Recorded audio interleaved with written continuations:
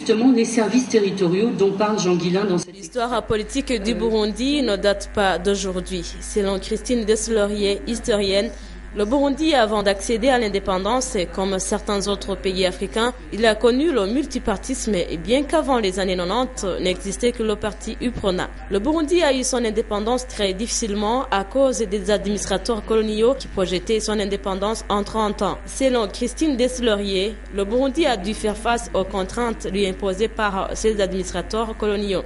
Christine Deslaurier, comme il a appris dans l'administrateur sous la période coloniale, Jean Guillain, précise que la plupart des pays africains, entre autres le Burundi, le Rwanda et le Congo, ont dû conjuguer les efforts pour combattre l'ennemi de l'indépendance africaine en général et celle de ces pays en particulier. Avec l'intermédiaire de l'Organisation des Nations Unies, l'objectif a été atteint qui était celui de voir le Burundi indépendant. Ainsi donc, le héros de l'indépendance, Prince Luc Gassoré, a pérennisé l'action entamée par son père, qui était celui de promouvoir politiquement le pays. D'après Christine Deslaurier, le héros Prince Luc Gassoré a eu un soutien de la part des étrangers, entre autres le commissaire togolais dénommé Gasso. Vous saurez qu'après la dissolution de l'administration coloniale, les Burundais de l'époque ont poussé un ouf de soulagement parce qu'ils n'ont plus subi de la chicote.